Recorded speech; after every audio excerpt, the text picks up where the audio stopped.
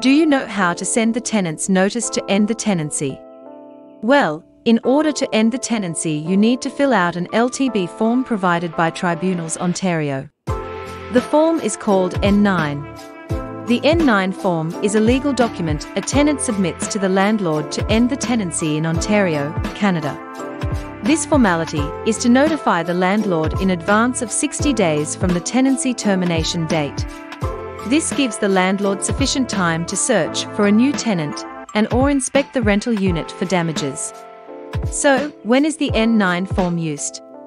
If a tenant wants to move out of their rental unit, they are to provide the landlord with a correctly filled out N9 form 60 days before the end date of the tenancy. So, here are the steps to how to fill out the N9 form. Number 1. Fill in the tenant's information. Enter your name, address, phone number, and email address in the first section of the form.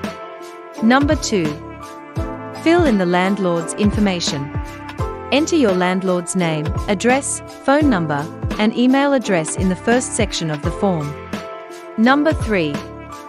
Fill in the rental unit information.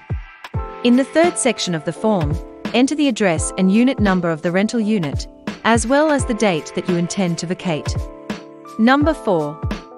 Sign and date the form. Sign and date the form in the fourth section, which confirms that you have provided notice to the landlord that you intend to vacate the rental unit on the date specified. Number 5. Serve the form to the landlord. You must serve a copy of the N9 form on the landlord in accordance with the Residential Tenancies Act. You can serve the form in person, by mail, or by email if the landlord has agreed to receive notices electronically. Keep a copy of the form for your records. It's important to remember that the N9 form is a legal document, and any errors or omissions could affect your tenancy rights or obligations. If you're unsure about how to fill out the form or have questions about the process, you may want to seek legal advice or assistance from a licensed paralegal or lawyer. Or you can reach out to the landlord and tenant board on this number. By following these steps, you should be able to fill out the Form N9 and end your tenancy early in Ontario.